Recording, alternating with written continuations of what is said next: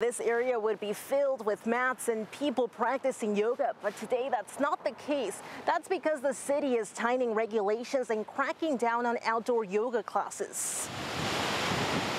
At the sound of crashing waves, it's an empty area at Sunset Cliffs where stretching and relaxation would be in full effect. But recent updates to the city code tighten restrictions on outdoor yoga classes. It's kind of absurd, like anything health and wellness based, especially free, like why would the city feel a need to shut down something like this? And Austin Kalstenberg showed up this morning with his mat on hand when he quickly realized yoga class wasn't going to be in session. People from different communities coming together for their health and wellness. Inhale, just the arms go forward. Jackie Kowalik had been teaching donation-based classes of yoga at Sunset Cliffs on and off since 2017. She says it's a space of belonging and peace. We got shut down on last Wednesday, and since then it has just been a full-blown community community effort to make it clear to anybody that will listen to us that the, these classes are important. San Diego officials made updates to the city code that prohibits businesses from operating beach events. They tightened the language to list yoga, fitness classes, and other activities as a service.